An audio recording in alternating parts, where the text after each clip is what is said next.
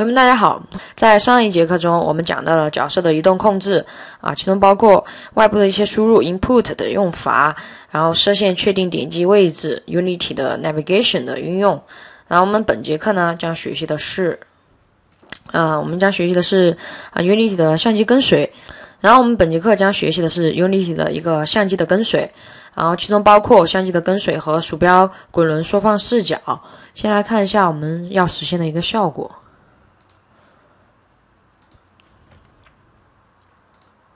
好，我们出现一个角色，我们点击让角色移动，相机也跟着这个角色在移动啊。大家都可以感觉到，这个角色移动了之后，这个相机也在微微的跟它动。然后我们滚滚动鼠标滚轮啊，进行视角的一个缩放。然后我们本节课就是要实现这两个效果。我们先创建一个脚本，叫 Camera Follow，Camera Follow 跟随相机。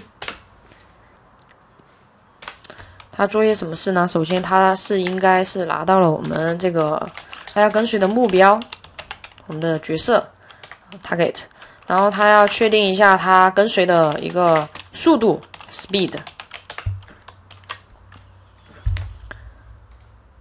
嗯，我们由于是动态加载，所以说我们这个啊相机什么时候去找这个角色呢？自然是角色创建在那个场景之后了，之后角色来通知这个相机，然后这个相机才开始跟随啊。所以说，我们就写一个方法叫 public init camera 啊，由角色来调用这个相机，并传入自己的啊这个 transform 啊通知相机啊就跟随我。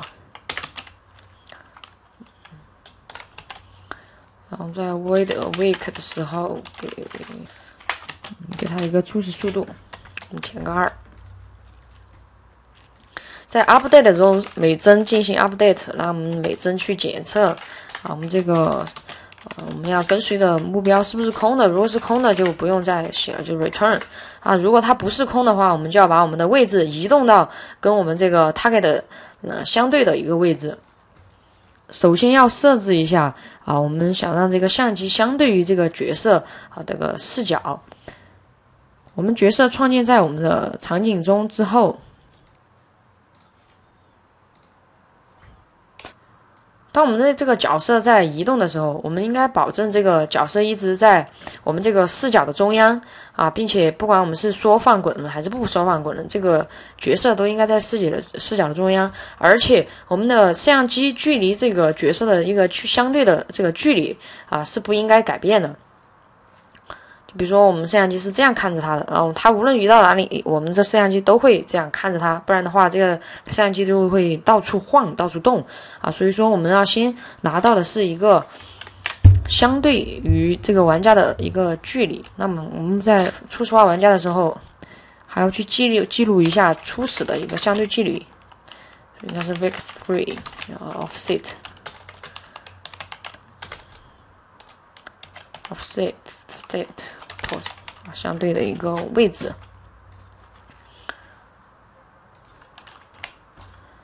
那么这个位置呢，就是 offset pose，就应该等于我们这个 target 点 position 啊，去减去我们这个相机啊当前的这个位置点 position，我们也拿到这个相机的 root，拿到它的根节点。把根节点取到，然后我们就开始每帧刷啊，查找我们这个是不是相机现在盯着这个人的。如果他没有跟着这个人，没有在这个人的这个相对位置上，那么相机就应该改变自己的位置啊。所以说就应该是 my root 啊，改变它的位置，它位置就应该等于啊 v i c three 点 lerp。这里我要给大家讲一下这个 lerp。lerp 是 Unity 三三 D 中经常用的线性差值的函数啊，在两者之间进行一个差值。啊，这个两者呢，既可以是它的这个材质，也可以是向量。啊，向量就是 vec three vec two 等等，还有两个浮点数之间也可以，颜色之间也可以。啊，这就是它一个写作的，嗯，就是这个方法调用的 API 啊，就是一个 lerp，然后你传入一个啊开始的 A 点，然后结束的 B 点，然后中间这个 t 是零到一，就是说它究竟如果是一，就是完就是等于返回的这个值就等于 B；如果是零，就返回的值就等于 A；如果是零点五，就返回是 A、B 之间的一个中间的这个值，所以说它叫线性差值，线性插进去了，所有这些都是。那我们要 lerp 的就是我们这个当下我们相机的一个位置，到我们玩家啊跟相机的那个相对位置，target 点 position 啊去加上我们这个相对位置，offset pose，然后逗号，好，然后给它一个每秒 speed。乘以这个 speed，然后我们来检测一下我们现在的这个相机是否跟随啊我们的物体了。这个写到 awake 里面去。我们现在要让那个创建的玩家去对我们这个相机进行调用。我们是在 level manager 里面初始化的时候创建的我们这个角色。然后这个角色创建了之后，这个角色要进行一下啊 camera。Camera 点 main camera 点 get component，我们会把我们的这个 camera follow 挂到我们这个主相机下面，camera follow 点，然后我们就把这个相机初始化了。我们最好还是把这个方法放到我们这个 player 里面去啊，就是说这个玩家他一生成，这个玩家自己去调。f 一四二到这里。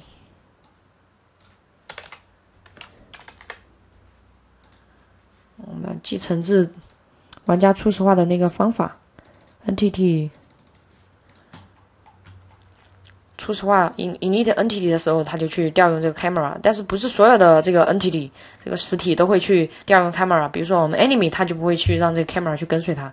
所以说，我们让它变成一个 virtual void，让我们这个玩家来继承，然后玩家继承了之后，他在这个 init entity 里面去调用 public override。然后，当它比如说 base 点 init entity，就是说执行完这个父类的这一系列这个初始化了之后，然后这个玩家他要进行一个他自己的这个初始化啊，就是 init camera。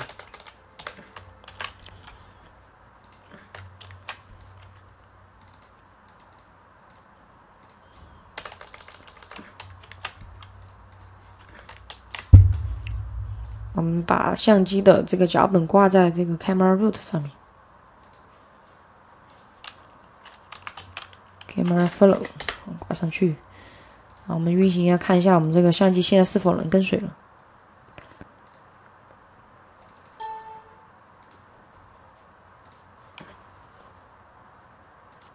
开始。嗯，这个跟随的好像不太对哟。可能我们剪的这个值给错了。等一下，camera follow，哦，问题出在这里，不应该是 target 减去我们的 camera，而是 camera 去减去这个 target。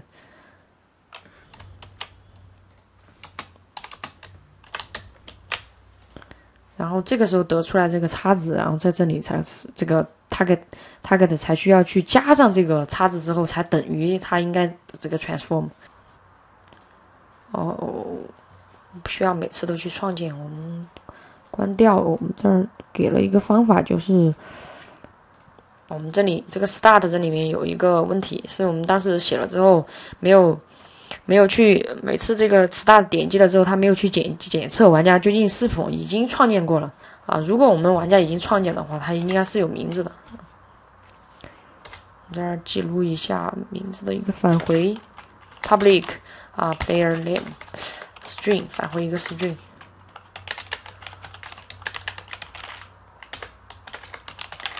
Get 返回 player briefs 点 get string，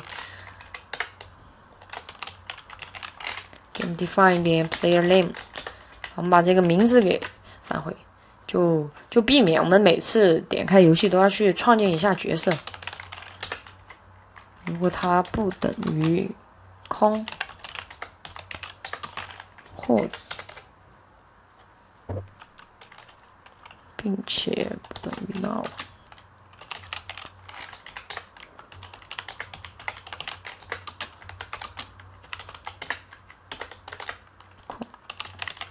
就表示它已经创建过了，然后我们直接就 load 到啊我们这个主场景里面去。dimension else，另外我们才需要啊创建这个角色。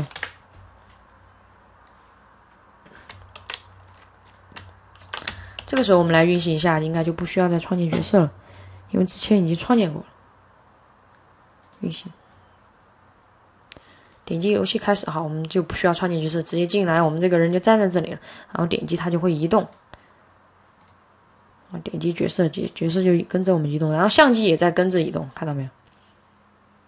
然后我们这个角色永远都在这个相机的中间，因为它这个相对位置啊是固定的，就是永远都是固定在这个相相对的一个位置。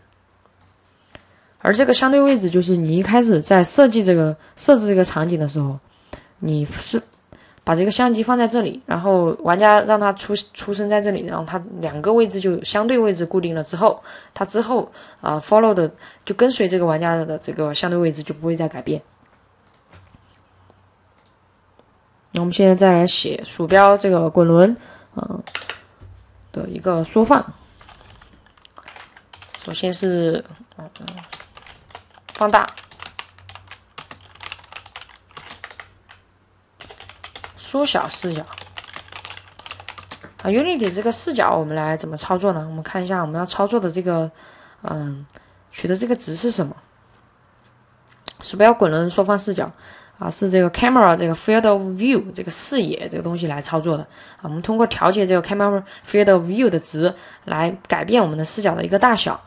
啊，它是以度以度为单单位的啊，但是当注意当相相机是正焦的时候啊，field of view 是会被忽略的啊。所谓正焦相机呢，就是啊，我们知道我们看那个 U U I，我们都是用的正焦相机。那么比如说我们这个现在就是透视相机，我们相机就是从一个点啊发射，然后出去往两边扩散，叫透视相机。如果它是正焦相机，哦，它就是从一个点，然后就永远不变的这个视角啊发射出去。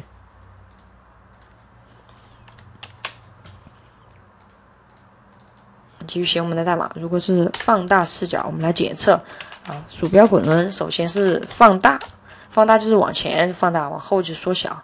如果说 input 点 get axis 就是拿取我们这个鼠标滚轮，鼠标滚轮的这个名字呢就叫 mouse scroll wheel。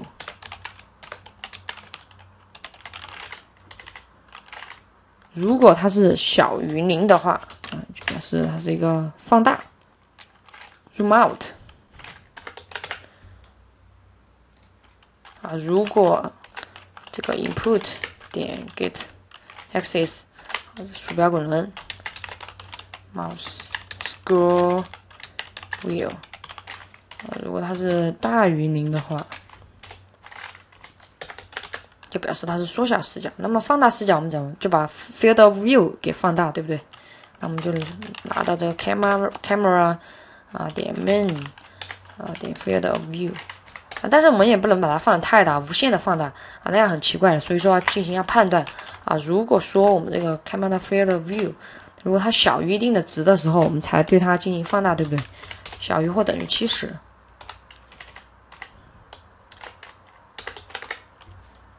那么它就 camera view 点 main 点 field of view 加等于五啊，缩小呢？如果它 camera 也不可能缩小到无限小，对不对？给它一个最低值，如果它是大于或等于三十的话。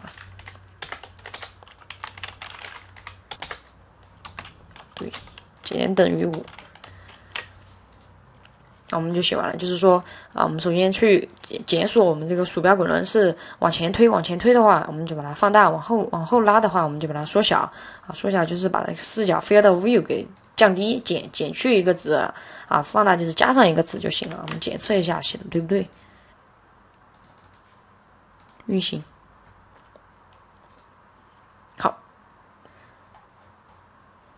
好，至此我们就实现了我们本节课的一个功能：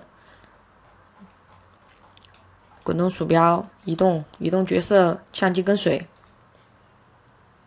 啊，所以说我们这个相机跟随的代码还是比较简单的啊，就是一个线性差值，让这个移动这个我们相机的这个位置，啊，确定它一个相对位置，移动它的位置，然后通过检测这个鼠标滚轮的，啊，往前推、往后推来进行这个视角 field view 的一个放大的缩小。啊，谢谢大家。